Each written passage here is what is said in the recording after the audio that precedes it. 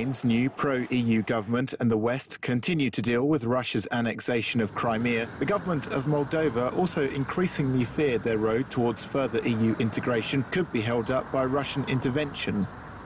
The region of Gagauzia is home to a 150,000 ethnic Turkic minority whose leaders oppose Moldova's EU course because of their orthodox beliefs and history of close ties with Russia. Residents feel poorly treated by the central government and like Transnistria, a breakaway region in the east of Moldova, would prefer closer ties with their Soviet master.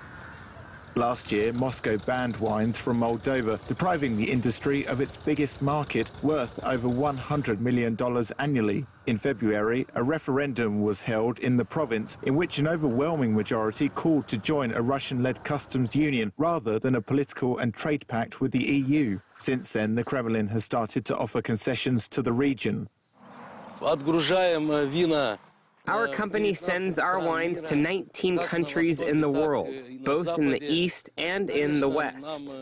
Of course, we are happy that the Russian market has now opened to us. We are ready to further cooperate in this direction. Under the law, Gagauzia has the right to a certain degree of autonomy within Moldova, but its leaders say the central government has not given them many rights.